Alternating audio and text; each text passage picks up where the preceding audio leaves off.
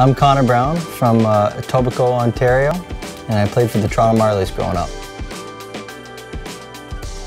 I went up the street to Duke Source for Sports. That's where me and my brother did all our shopping for all our hockey needs growing up.